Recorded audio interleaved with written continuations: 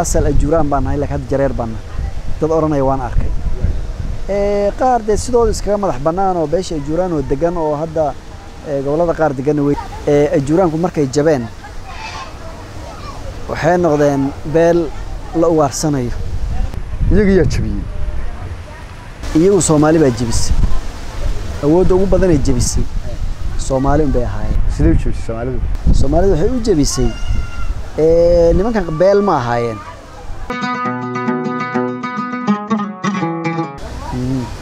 Ilaa aan hubiyo weli baaritaanka waan wadaa.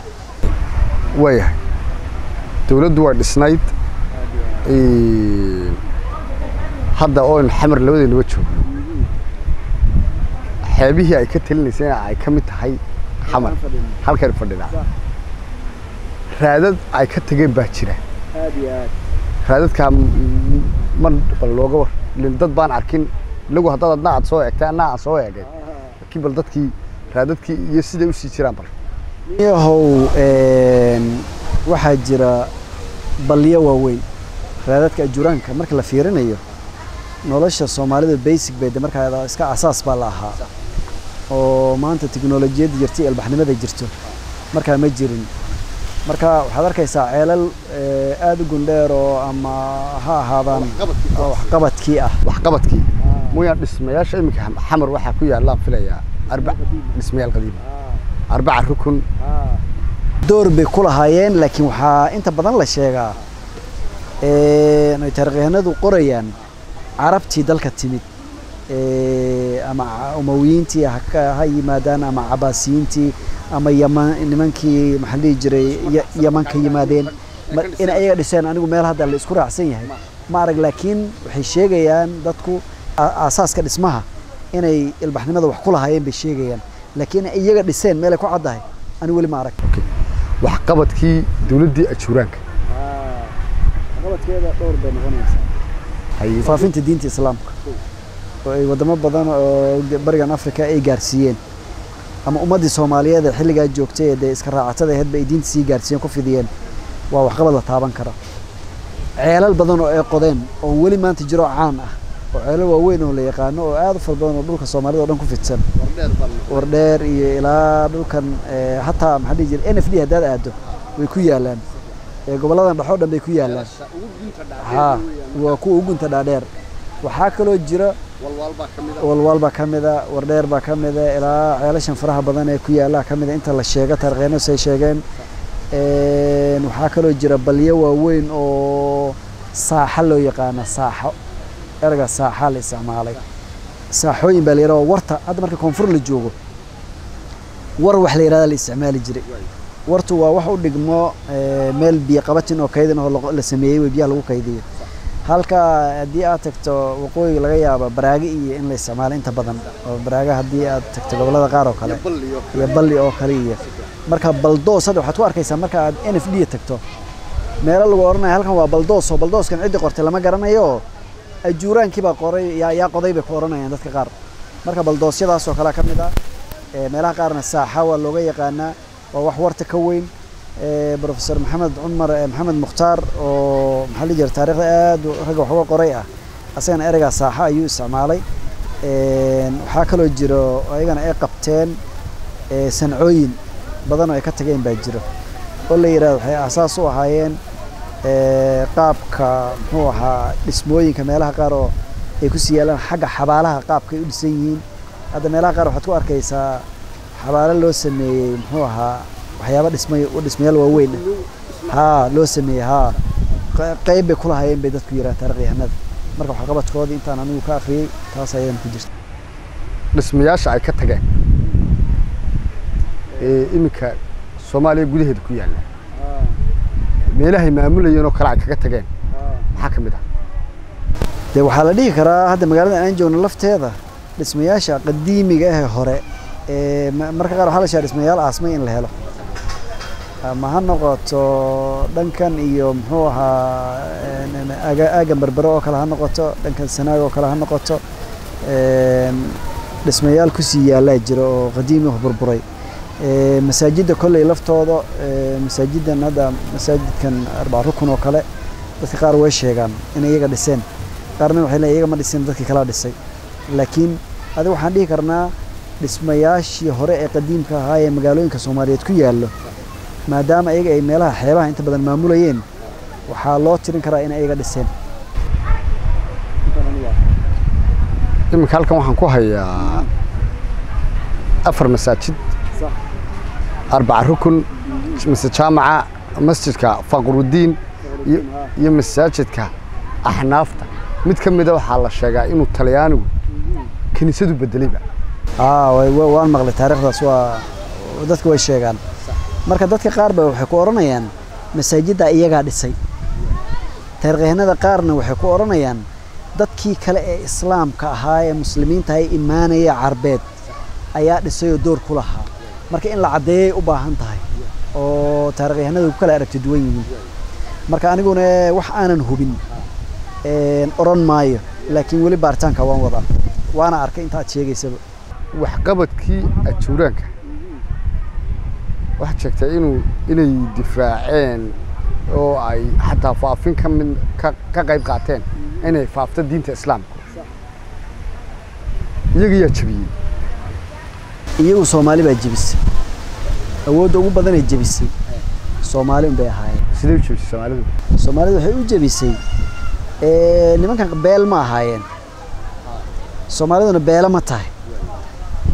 Qabyaaladda ilaa maanta dee aynu isku dilayno unbaa loo aanayn karaa anigu intaan aragtidayda saan u malaynayo. Waxaana la sheegaa boqortooyooyinkan kadib ka samaysmay inay qayb weyn ku lahaayeen inay sii burburaan nimankan oo ay jabaan ay daciifaan.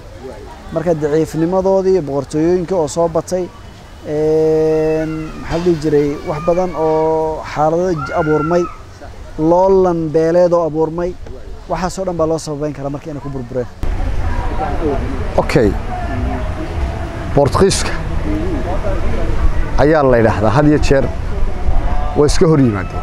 Arrintaa maxaa lagu sheegi kartaa bortugiiska niyo waa kan hordhici ku sheegaye bortugiisku way dagaalameen. Wayna iska difaaceen way la dagaalameen. Oo xataa waxay kaalmo weydiisteen muxuu ahaa turkiga inuu difaaca la galo. Waxayna taarikhyahanada qaar qabaan inay qayb kala qaateen inay la dagaalamaan marka iyaga kelina ma ahee dad yow kale oo badan oo muslimiin ahaa oo joogay dhulka. Yaa iyagana gacan ku siiyey in lala dagaalamo. Laakiin waxaa loo la odhan karayaa dee gubitaankii xamar la gubay markale la gubay la weeraray baraawo la gubay. Magaalooyin badan buu gubay maxaa la dhihi jiray bortugiiska oo bortugiiska isagu wuxuu ku wajahnaa xeebahan soomaaliya koonfurta ayay u badnaayeen. Marka dagaalada ay la galeen in badan way iskaga difaaceen laakiin akhiirankii markii ugu dambeysay bortugiiska dagaalkiisii saameyn badan buu ku yeeshay. Oo midnimadii dhulkii ay ka talinayeen baa kala furfurantay. Waa la soo dhexgalay si loo soo dhexgalayba. Dadyow kale oo dana kala lena way yimaadeen. Oo umawiintii oo kale way yimaadeen cabaasiyiintii way yimaadeen carab kale oo ka yimid jasiira alcarab baa dalka soo gaaray. Aragtiyo badan oo marka waddankana markaa ma jirin wax u gaar ahoo soomaalida qofka yimaada ee muslimka ah. Wuu soo degayey oo hataa dad badan oo aan soomaali ahayn baa xamar ka taliyeyba oo taarikhda dib ugu noqoto aad arkaysaayoo canshuur qaaday oo ciidamo la soo galay oo wax badan baa jiray. Marka loolankaa socday ee habnoololeedka ahaa ayaa wuxuu sababay in maxaa la dhihi jiray ay wiiqmaan. Kadibna inay ka soo hoos baxaan saldanooyin kale. Kadibna lala dagaalamo soomaalida dhexdeeda colaad kala gasho. Ilaa akhiira inay ka burburayeen marka ay kun sideed boqol kun lix boqol iyo afar iyo siddeetankii inay burbureen markaa okay intiinan burburkooda halkay ku dambeeyaan aynaan u gelin. Bortugiiskan ku jirnaayo. Taariikhda qaar dadka waxay sheegaan inuu bortugiisku mar soomaaliya maamulayay arrintaa maxaa ka jira. Lama odhan karay soomaaliya maamulayay waddankana sidiisaba hab dowladeedoo nidaamsan uma dhisnayn ma jirta bortugiiska intaan anigu ogahay? Isballaarin badan oo uu sameeyey oo soomaaliya o dhan uu ku wada gaaray. Ma jirin. Laakiin marar uu qabsaday xeebo xeebahan koonfureed ah oo muddo kooban ahoo lala dagaalamay baa jirto waxaana la dhihi karaa waa gumaysi ugu soo horreeyey ee ka soo hormaray yurubiyaanka kale ee dalka yimid buu ahaa. Marka inta badan markaa taarikhyahanada aad fiiriso waxay ka qoreen muddo aada u sii dheer oo la odhan karaya intaas buu maamulay oo uu gacanta ku hayay. Ma jirta ee intii uu joogayna waxay ahayd in kacdoon iyo dagaal iyo rabshad ku socotay bay ahayd. Marka adii wuxuu ahaa ciidan shisheeya oo soo duulay lala dagaalamay magaalooyinka gubay dadkii laayey ee dhiig faraha la galay asagana waxba ka dheefin. Boqortooyadii ajuuraanku way jabtay. Sidaynu hadda imika marayno. Waxaanad sheegtay inay soomaaliyuun jabisay lafa maroodi iyagubaa la isku jabshaa lagaga dhigay. Farxadka xaggay qabteen. Waa sax waa su'aal fiican. Ee ajuuraanku markay jabeen waxay noqdeen beel la ugaarsanayo oo dadkii cadaawad badan loo beeray. Sidaa daraaddeed farxadkoodii qaar meesha qalaafa la yidhahday tageen. Webiga jeexeen. Shabeelle gobolka shabeelle ee goday laga xukumo hadda ayay galeenoo maanta weli way sii degan yihiinoo waxayna ku milmeen nimanka reer shabeelle la yidhaahdo ee qaar badan isdhex galeen. Qaarne aaggan muxuu ahaa shabeel shabeellooyinkan shabeellada hoose. Iyo ayagana galeenoo waxay dadku yidhaahdaan qaar taariikhanada waxay qabaan inay isku milmeen beesha jareerweyne inay isdhex galeen. Oo qof hataa aniga lafteeda dhar dad aan saaxiib noqonnay oo waxaan arkay odhanaya waxaan nahay asal ajuuraan baan nahay laakiin hadda jareer baan dad odhanaya waan arkay. Qaar dee sidooda iskaga madax bannaan oo beesha ajuuraan oo degan oo hadda gobollada qaar deganna way jiraan laakiin siyaasad ahaan meeshay ugu xooggan yihiin aniga aan ku arkay waa gobolka waqooyi bari ee dalka kenya oo ay ka soo galaan oo siyaasiyiin dowladda baarlamaan ka soo galay ay jiraan oo beel weyn oo degan dee ay yihiin oo sidooda u madax bannaan. Marka xaggaas waxaa la odhan karayaa markii koonfur ka kaceen intii ugu badneed xaggaana way tageen. Oo gobolkaasi hadda u badan yihiin baa la dhihi karaa dee gobolladanna weli way joogaan oo jubbada dhexe oo kale haddaad tagta. Way ku filaqsan yihiin. Ilaa mudug haddaad tagta hadda maalin dhaweeto dhalinyaro waxaan ku arkay meesha la yidhaha laascano reero deganaa oo dagaaladii sokeeye markay dhaceen kadib dhulkan ka tegey oo juuraanoo degan baan ku arkay oo ayaantii dhaweed dad la soo tarxiilayay oo baydhabiya xaggaa loo soo celiyey bay ku jireen qaar. Waan ku arkoon garanaya oo aan sheekaysanay aniga marka beesha ajuuraan dee weli way jirtaa waa beel soomaaliyeed oo weli sii dhaqan laakiin awooddii dee iyo hogaamintii waaga hore ay lahayd ayaa isbeddel ku yimid beesha weli way jirtaayoo dhul badan oo soomaaliyeed bay degan tahay. Marka dhibaatadii yacni uu gumaysiga ku yeeshay saameynteeda weli waad ka dareemaysaa laakiin haddana dee beelaha soomaaliyeed bay maanta ka mid yihiin oo waa beel caadi oo soomaaliyeed oo dhul degan weeye maanta weli jirto weeyaan. Okay ustaad dadka qaar waxay sheegaan inay waddamada jaarka u tallaabeen. Oo ay faracoodii ama isirkoodii ama de tafiirtoodii baanu nahle markay webiga jeexeen qaar kenya odiga ku sheegaya. Iyo wixii ka sii sheeya inay galeen. Arrintaas ma jirtaa. Horta soomaalida mataqaanaa sheekaba sheekay keentaaye. Dad badan oo soomaaliyeed oo bariga africa joogaa jira. Marka anigu ma filayo juuraan meel fog inuu tegey. Inuu meel fog tegey ma filayo. Sababtoo ay ta dhulka ay maanta weli ku nool yihiin ay joogaan oo dhulkii soomaalida ay deganeed hadda haddaad tagto gobolka shabeelle ee qalaafo iyo dhulka haddaad tagto dee weli juuraan way degan yihiin oo suldaan olol diinle iyo dad badan oo caan oo ka soo baxay baa jira dhulkan haddii ay joogaan waqooyi bari kenyana n f d. Dee waa dhulkii soomaaliya ay joogtay un oo sheeyihun baa dalkii kala qaybiye dhulkii hadda dhul soomaaliyeed inaana ka bixin baan ani aaminsanahay. Qabiilo kale oo meelaha qaar aan ku arkayo hadda gobol waddanka la yidhaahdo muxuu ahaa waddanka la yidhahdo jad ama tishaadna carabiga lagu yidhaahdo beel dad badan oo soomaaliyaho degan baan ku arkay oo suudaan buu daris leeyahay dadka laakiin waxay sheegtaan inay yihiin garre asalkoodii oo beelaha garra beelo ka mid ah. Oo xagga ilaa hata madaxweyne ka noqday baa la sheegaa. Anna waan arkay oo dad ka soo jeeda halkaas. Marka dadka qaar baa waxay dhihi jireen waa ajuuraankii xaggaa tegey laakiin ajuuraan marka aniga la sheekaystay ajuuraan ma aha ime waxay ii sheegeen asalkooda inay garran yihiin bay ii sheegeen. Marka ajuuraan waxaan oran karaa dhulkii soomaaliyeed kama bixin. Ee way wiiqmeen waa la laayey waa lala dagaalamay shisheeye iyo sokeeye waa la isugu tegey markaan sokeeye leeyahay qofka soomaaliga baan ula jeedaa. Marka saasaa loo wiiqaye wixii soo haray. Dalka un bay joogaana kama bixin. Waxaa la sheegaa inay dad dagaalyahana oo aada cajiib u ahaayeen. Raggii dagaalada hogaamin jiray ama hogaamiyaashii ciidamadooda. Ragga ugu yara magac waaweyn haddii aad buuggoodina oo adiga buuggana wax kaga qoray yaa ka mid ah niyow horta baaritaanka waan wadaa dadka sida aan kuu sheegay anigu markii aan wax baaritaan samaynayey waxaan aada isugu dayay wax xaqiiqa inaan helo. Dadku waxay inta badan sheegayaan un taytoladii administrationka ahaa ee maamulka ahaa oo imaamkii guud naa'ibkii amiirkii abaandoolihii ciidamada waxaasay sheegayaan taarikhyahanadu si kala duwan bay uga kala hadleen. Marka mid la isku raacsan yaho hadda taxano ahoo la odhan karayo hebel iyo hebel iyo hebel iyo hebel bay ahaayeen. Qaar ku jira waan arkay youtube-kii wax lagaga sheeg sheegay. Laakiin xaqiijin bay u baahan tahay in la sugay u baahan tahay. Marka taasna waan ka gaabsanaya oo aniga ilaa baaritaankayga aan sugo. Ma oran karayo maxaa yeeley wixii taariikh iyo ummad bay gelaysaa berrito wax aadan hubin haddaad sheegtane. Dhibaatadeeday leedahay marka inaan hubiyo maxaa leeyahay maxaa carabta waxay tidhaahdaa wax markaad qoraysa ama aad sheegaysa lilaahi wale taariikh u sheeg.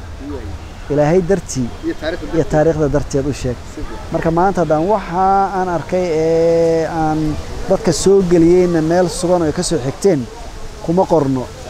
Marka beesha ajuuraan dib haddii loo waraysto way dhici kartaa inay noo xaqiijiyaan oo dee odayaashooda in xamar bay nala joogaan oo laga helaa laga yaabaayo dee dad badan baa ka joogo marka waxay u baahan tahay taarikhyahanna in dib ay ugu noqdaan baaritaankan aniga hadda buuggaygiisa waan u soo saarin labiyo toban sana sanadkana wuxuu u yahay sannadkii saddex iyo tobnaad buu u yahay. Sababaha aan u soo saarin intaana waa mar walba inaan wax hubiyo oo mar walba aan wax xaqiijiyo. Marka baaritaankii baan weli wadaa kama hor dhacaya marka ma oranayo hebel iyo hebel iyo hebel iyo hebel baa hogaaminaya ilaa aan xaqiijiyo. Olol diinle sow hogaamiyaashii ama taliyayaasha ciidamada kama mid ahayn. Olol diinle ma ugu dhowaa isagu waa talyaanigu la dagaalamay etoobiyaanku gacansaar la lahaa isagoo talyaaniga la dagaalamayo. Marka dambena dadku waxay sheegeen inuu xabsi ku dhintay dee wuu soo dhowaaday oo dee maxaa dhihi jiray dadkiisi baa weli joogo qalaafana joogo. Soomaaliyana joogo. Laakiin hogaamiyu ahaa ajuraan buu ahaa. Ajuraan buu ahaa oroldiin lahaa hogaamiye adag buna wuu ahaa. Marka waa la helaya reer oroldiin weli waa nool yihiin baan filaya calan baynu sheegnay inay lahaayeen calankooda ma ma suurayn karnaa siduu ahaa niyahow calankooda wuxuu ku jiraa youtube wuxuu ku jiraa google-ku ku jiraa calan markaad fiiriso qurux badan oo as leedahay wallahi xilligaa dadka jooga calanka ceenka u eg samaystay. Iyo astaanta markaad aragto marka calan qurux badan bay lahayn wuxuuna ku jiraa isagoo muuqaal hadda ma hayo laakiin wuxuu ku jiraa haa marka astaan qurux badanna wuu lahaa. Dee midabadiisana waad aragtay say u eg yihiin. Marka fariinteyda waxaa weeyaan taariikhda ummadda soomaaliya ee leedahay qof unbaa yeelanaya oo beel unbuu ka dhashay qofkaasi. Waana qof soomaaliyeed.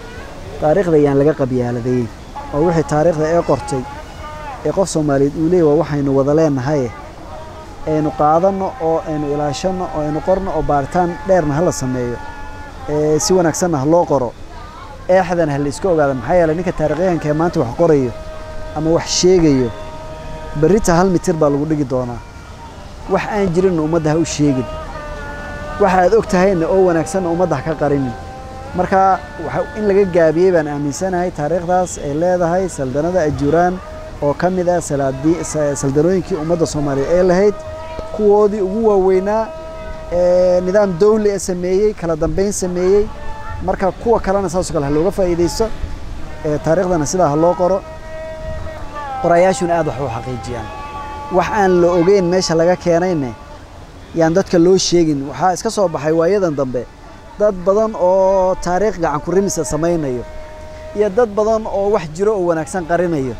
Marka waxaan odhan karaa anigu gun muxuu ahaa gundhig dowladnimada soomaaliya asaaskeedii ajuuraan baa loogu noqon karayaa oo daraawiish baa loogu noqon karayaa oo s y l baa loogu noqon karayaa marka sidaa aynu wax u soo qaadanno oo aynu sidaa u ilaashanno wixii wanaagsan aan qaadanno. Taariikhda ajuuraanka waxaad sheegtay in taariikhda aan la badhax tiro. Sideeda loo dhigo ajuuraan taariikhdeeda mar haddii gumaystuhu dadkii soomaalida ah ku jabiyey xataa inuu masajka ama fariinta u dhiibay ah in taariikhdoodana la tirtiro ha way dhici kartaa sababto ay taal baan kuu sheegayaa nimankan yurubiyaanka markay dalka ku soo duuleen shirkii barliin markuu dhacay maxaa la dhihi jiray lagu kala qaybsanaya africa wax badan oo afkaaro oo la faafiyey baa jirta tusaale haddaan ku siiyo daraawiish aan tusaale u soo qaadanno daraawiish wuxuu ahaa urur soomaaliyeed oo dagaalamay. Mabda'u doonaba ha ku dagaalamo? Siduu doonaba ha u dagaalamo sidii la doona wax looga sheega. Laakiin urur wuxuu ahaa diiday gumaysi. Oo diiday maxaa la dhihi jiray nimankii gaalada ingiriiska dalka ku soo duulay. Hor istaagay oo kow iyo labaatan sana la dagaalamayay ingiriisku waxay aad ugu dadaaleen inay wax walba xumeeyaan. Waxaadna ka garan karaysaa maad mulla macnaheeda ma taqaanaa? Waa wadaadkii waalna.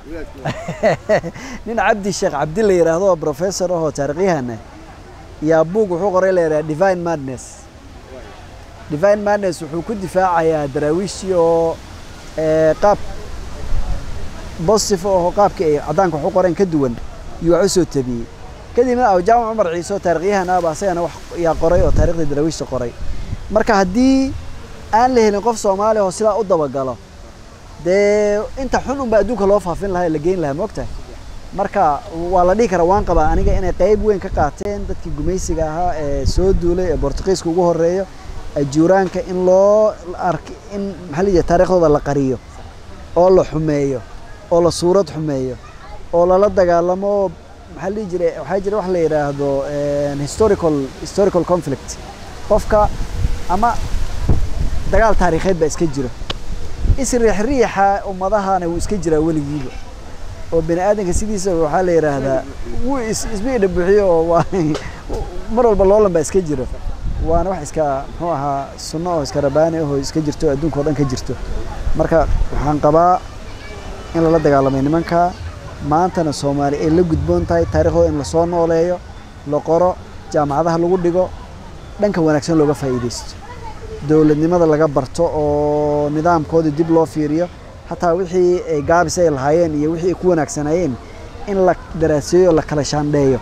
Oo ay dad badan oo qorayaal iyo maraakiis badan iyo xarumo badan oo cilmi baaris ay soo baxaan oo marka waa mas'uuliyad soomaaliya o dhan u taalla ama qofka ajuuraan ha noqdo ama yaanu ajuuraan noqonin. Maxaa yeelay qofka ajuuraanka haddii adi aad beelaha kale soomaaliyeed ka mid tahay qofka ajuuraanka meelkaa ma jiro. Wuxuu yahay adiga waa tahay wixii ka xumaadane? Soomaali bay ka xumaadeen. Wixii u wanaagsanaadana soomaali bay u wanaagsanaadeen. Marka in sidaa loo fahmo oo taariikhda aan la qarinin la qoro la baaritaan lagu sameeyo laga daba taga la soo nooleeyaan ku talinaya. Aad baan kuu salaamaya. Sidee bay ustaad ku dhici kartaa? Iyadoo oo in dadkii loo fahansiiyo iyadoo boqortooyo la dumiyey. In dadkii lagu qanciyo in tii la dumiyey wax laga barto niyahow ummadaha inagu ummad reer baadiye baanu nahay. Ummad raacate e baynu nahay. Dadka raacatadaena waxaa lagu yaqaanaa inay suxulduubaan oo loolamaan isriixaan. Boqortooyadaa duntay yay ka duntay horta waa in la isweydiiye sababtay u duntayna waa in la isweydiiye yaa dumiyeyna waa in la isweydiiyo maxaa dumiyey iyo maxay ku duntayna in la ogaado weeye marka koowaad boqortooyada dumitaankeeda saan soo sheegnay waxaa qayb weyn ka qaatay gumaysigii bortuqiiska bortuqiis yuu u jeeday hadda maajuuraan buu beegsanayey mase soomaali buu beegsanayey ma dhulkaa soomaaliyeed buu doonayey mase guri nin ajuuraan uu leeyahay buu doonayey guri ajuuraan muu doonaynine dhul soomaaliyeed buu doonayay inuu qabsado dheefsado u ka faa'iidaysto u gumaysto cidda joogtana marka saa daraaddeed aniga waxaan aaminsanahay waa laga faa'iidaysan karaa oo taariikh in jaamacadaha lagu dhigo oo dugsiyada lagu dhigo oo manaahijta lagu daro ayay taariikhdaa mudan tahay. Anigu intaas ku soo koobaya intee qaadanaysaa in dadka lagu qanciyo wax badan ma qaadanayso.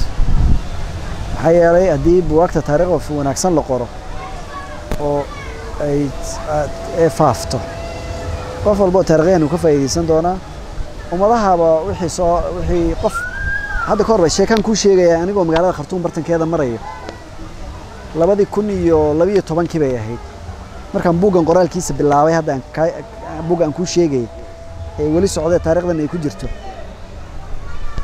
Yaa bartanka suuqa waxaa iga hor timid islaan gabowday oo waalan oo sudaaniyad ah. Markay sidaa ii dhaaftay bay igu soo laabatay.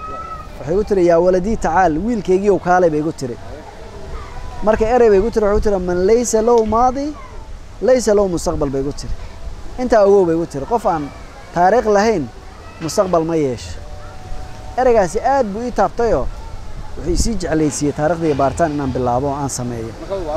Waa islaan waalan man laysa low maadi laysa low mustaqbal bay igu tiri aad buu qum ii yiriyo maskaxdeeda uga daaday wallaahi taariikh cidaan lahayn mustaqbal male waa xaqiiqo haddaad fiiriso maanta taariikhaha ummadda soomaaliyeed ay ku faani karto.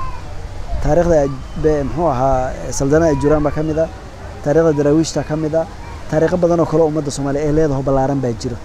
Oo waxna waa wax global history ahoo caalamka gaaray.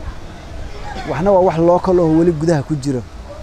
Taariikhaha labadaa taariikhood waa labada taariikhood ugu waaweyn. Ajuuraanka iyo daraawiishta waa labada taariikhood ee ugu waaweyn ee gaaray ee global historyga soomaalida marka laga hadlayo jaamacadaha lagaga hadlay ee lagu soo qaato weeye inagu laakiin ma ogin. Maxaa yeelay qofka soomaaliga ah waxaa laga yaabaa ninba inuu daraawiishta u arka aragti negativa ka qaato. Midna isagoo u xaglinaya ku diidaya qabiil ahaan. Midna waxaa laga yaabaa inuu aragti positive ka qaato oo isagoo qabiil ahaan u jeclaysanay. Marka nin jeclaysiga nin nacbaysiga ayaa inugu badan. Laakiin xaqiiqada aan laga boodi karin qof kasta wuu khaldami karayaa daraawiish qalad bay yeelan kartaa juraan qalad buu yeelan karaa wanaagna way yeelan karayaan. Wixii laakiin dhacay waxani waa history waa taarikh dhacday weeye taariikhda qofna wax kama bedeli karayo. Dadka adduunka joogane taarikh soomaaliyeed bay u aqoonsan yihiin. Taariikhda s y l mo taarikh soomaaliyeed weeye meel ma aadayso qofkaa soomaaliyan lagamana bedeli karayo mana diidi karayo laakiin maxaa yeelay taarikhda waxaa la yidhaahdaa waa dhacdo socoto cidna wax kama bedeli karayso. Maanta marxaladaha lagu jiro shalay wixii la joogay taarikhdaasi ku wada sugan yihiin. Marka anigu saasaan aaminsanahay marka dhanka wanaagsan xogaa xaraaradda dhanka xun intaan iska yarayno dhanka wanaagsan aan mar walba aan ka istaagnan oran lahaa. Saana dadka loo gaarsiiyo daawadayaal intaa waxaanu ka hakeynaa qayb ka mid a barnaamijkeenni waa joog waxaanu ku jirnay oo aynu ka warramayno taariikhdii boqortooyadii ajuuraanka